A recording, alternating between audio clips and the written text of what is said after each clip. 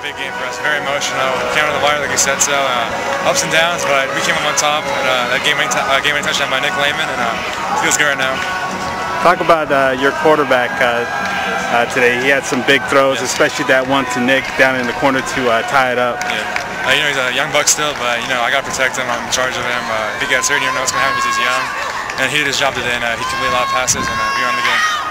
You protected Nick pretty well today. Actually, the whole line. I mean, you guys only allowed, I believe, one or a yeah. handful of sacks. Yes. I mean, not too many. how, how how difficult was this defensive line? Uh, probably the hardest defensive line we've ever uh, faced against. Uh, you know, we were hard in practice uh, uh, yesterday and uh, Wednesday, and man, we just we, did, we, did, we worked hard the O line, and we showed who's better, the O line and D line, and that's us.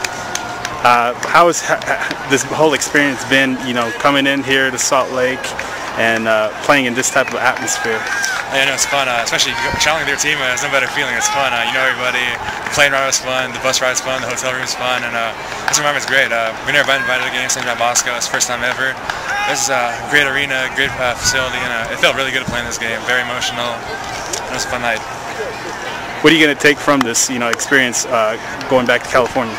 We're going to take a step by step, like a regular game. You know, even though it was like a blown up game we're still going to take it step by step, start from scratch against uh, Orange Lutheran, and uh, hopefully we become victorious against them. Has uh, do you think this game has uh, changed the mindset of California teams? Uh, you know, when they talk about Utah teams, uh, what do you think they're going to say now? you know, California teams are always good. they're always tough. Utah teams are really good too, but we showed today that California team, we're, we're the real deal.